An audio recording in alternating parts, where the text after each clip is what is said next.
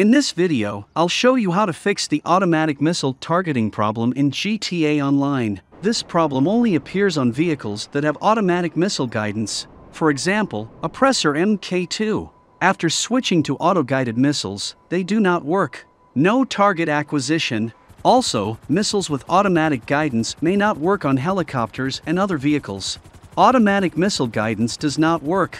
To fix the problem, you need to launch the interaction menu.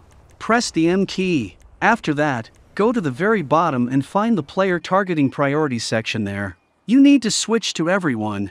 And after that, the goal of automatic missile guidance will affect everyone, even those who do not attack you. Sometimes it helps a lot to complete missions or tasks.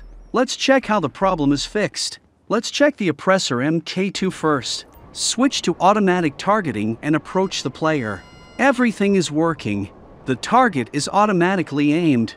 Problem solved. I'll also check out the Sparrow helicopter. After approaching the target, the missiles are automatically aimed.